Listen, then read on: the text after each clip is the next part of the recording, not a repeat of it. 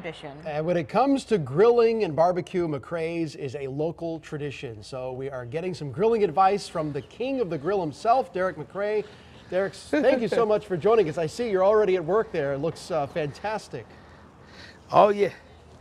oh yeah, they got me going early this morning. what is the first thing to consider when but grilling? But we're looking good here. Well, the first thing to consider is making sure that your grill is clean, that you got all your safety stuff around, your water, or for some people they might need a fire extinguisher, extinguisher or something like that. But you want to make sure all your safety stuff is right and whatnot. Now, you're very picky when it comes to choosing your meat. So, how do you recommend we go about finding the best meat? Oh yeah. Well, I, I'm a premium cut guy. I like the best ribs the best beef brisket. I look at the chicken, make sure that, that it's an organic chicken. That's how I, I, uh, I uh, choose my meat. Even when it comes to pork butts and stuff, I try to find the one that's less fatty.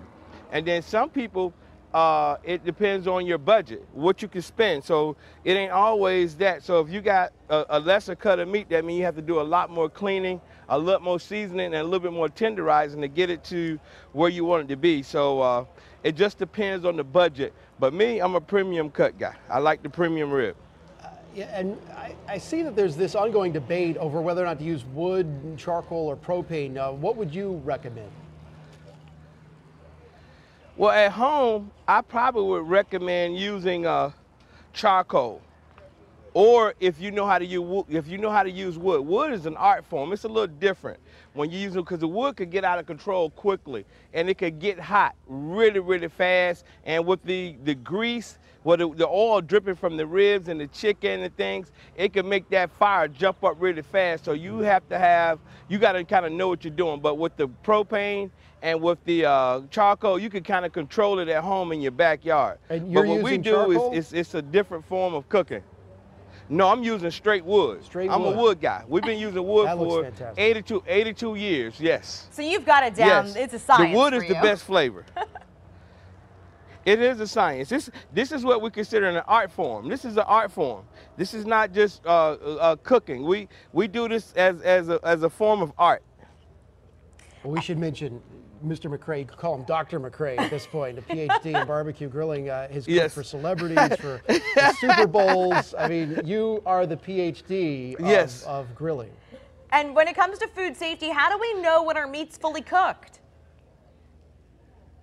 Well, you got you got your temperature gauges. You should use a, a, a pen. It's a temperature pen.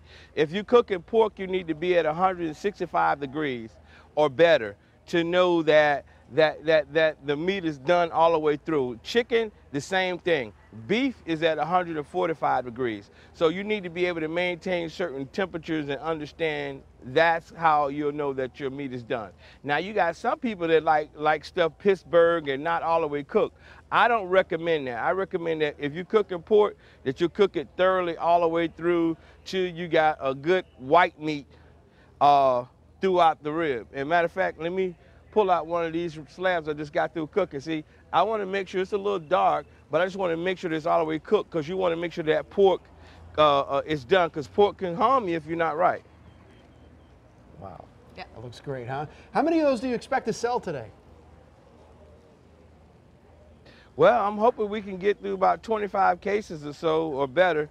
You know, uh, uh that's that's a few hundred slabs uh, ribs, and uh, and it's, and it's a normal for us on Memorial Day, uh, on Independence Day, and Labor Day. It's almost like the barbecue holidays that people come out. See the difference now that a lot of people don't cook the way they used to at home because uh, society has changed. So I get out here and I beat the heat for them. Thank you so much, Mr. McCray. The poor guy, he's sweating, the smoke yes. billowing in his face. He's got all the wood stacked oh, yeah. behind him. Thank Absolutely. you so much. Well, you're looking at a master, though. Are you? No are you welcome? And a, and a, yes. a living legend. Thank you so much for yes. taking the time out today from Mangonia Park. Fantastic. Now I'm hungry.